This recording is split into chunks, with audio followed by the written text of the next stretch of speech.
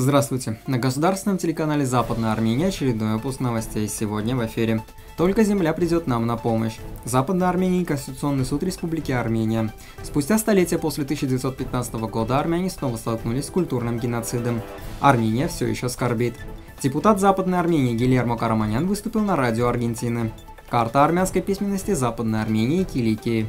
Армянка спела в Сенате США на армянском языке. Поддержим государственное телевидение Западной Армении.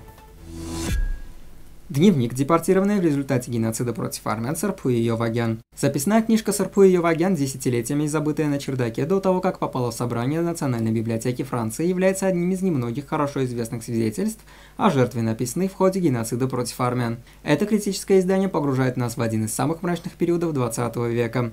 Мы шли бесцельно, по 6 часов в день, не ели и не пили. Идите, идите дорогой до конца своей жизни. 25 октября 1915 года 22-летняя армянка сбежала из шеренги депортированных в порт Гиресун на Черном море.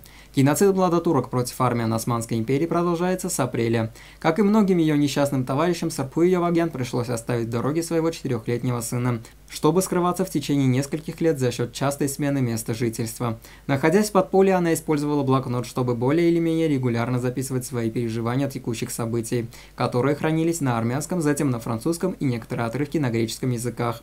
В этом отрывке она рассказывает о своем путешествии по Армении после депортации из Трабзона, где она жила со своей семьей в июне 1915 года, о своей уникальной жизни в Гиресуне. Высокопоставленный турецкий чиновник заявил, что признание США геноцида против армян может саботировать попытки примирения с Ереваном после войны в Арцахе. Турция предупредила Соединенные Штаты, что наименование резни армян в Османской империи геноцидом может иметь разветвление, заявив, что этот шаг может помешать усилиям по возможному примирению с Арменией.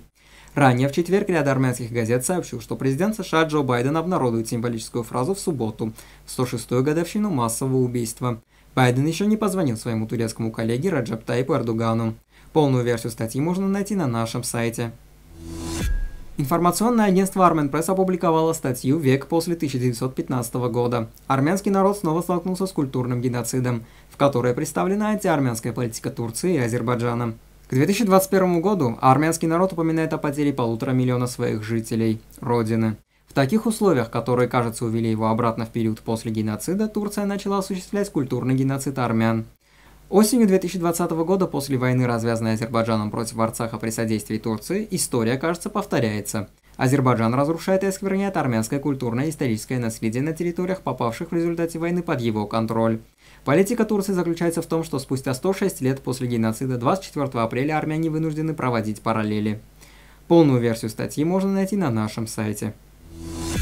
Корреспондент The Foreign Policy Нил Хаурер опубликовал обширную статью о геноциде против армян, Второй Арцахской войне, Сумгайской резне, Спитакском землетрясении и других темах. Нет такой же белой вершины, как Арарат, писал армянский поэт Екаш Чарен в своем произведении 1915 года «Голубая Родина» о горе с двумя одинаковыми вершинами, которая является национальным символом всей Армении. Но Арарат не близок, он невероятно далек от давно закрытой границы с Турцией, которая больше известна среди армян как Западная Армения. Армян не осталось, по крайней мере, открытых армян. Национальный символ Армении, жесткий камень самобытности всего народа, находится на границе враждебного соседа. Однако постоянное напоминание о том, что было потеряно, это лишь одна из многих потерь, которые пережили армяне. К сожалению, это была не первая потеря армян.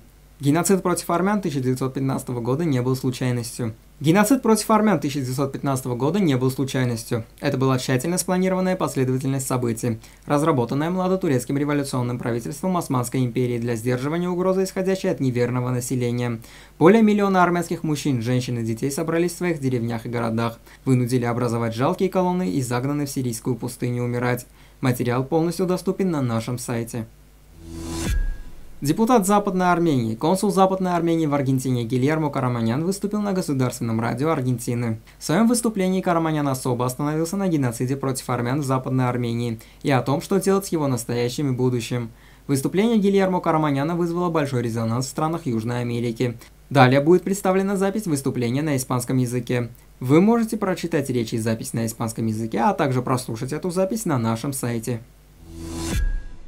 Средневековая рукописная книга имеет особое значение во всем армянском историческом и культурном наследии.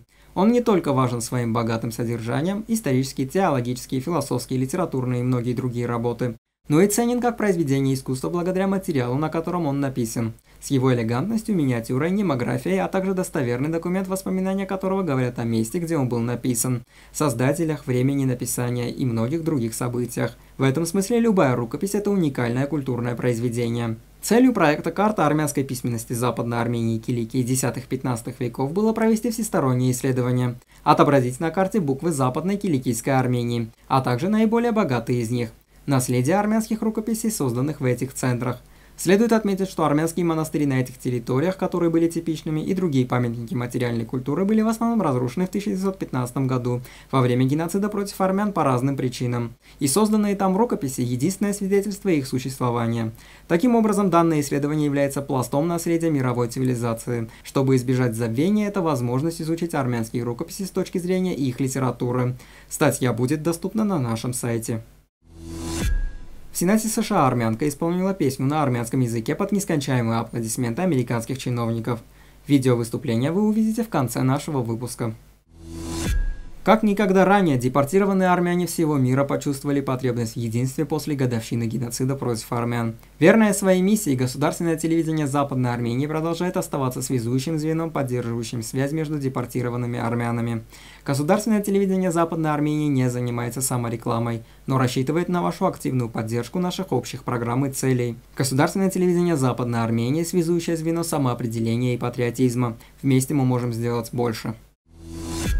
Далее для вас армянка исполнит в Сенате США Сарери Ховинмерна.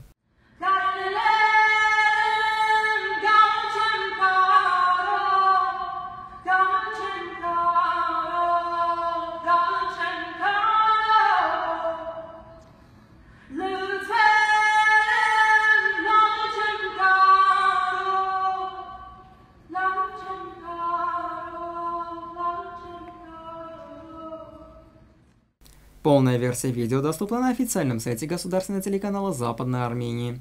А на сегодня все. Желаем вам всего хорошего.